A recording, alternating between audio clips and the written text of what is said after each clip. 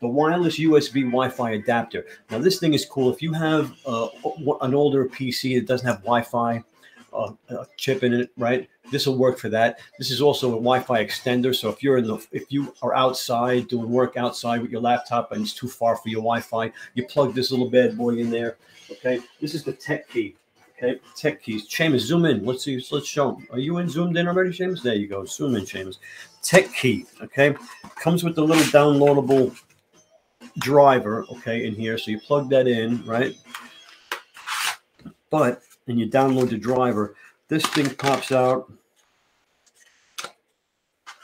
right? And it's got the two antennas that go on there, right? And you plug this into your laptop or your desktop.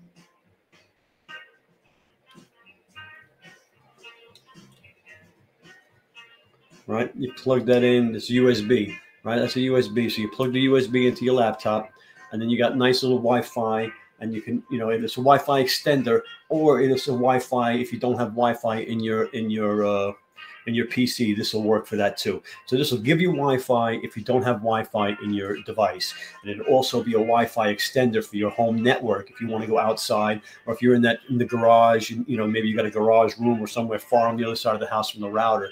This is this is what that'll do. All right, really cool thing by TechKey. Um,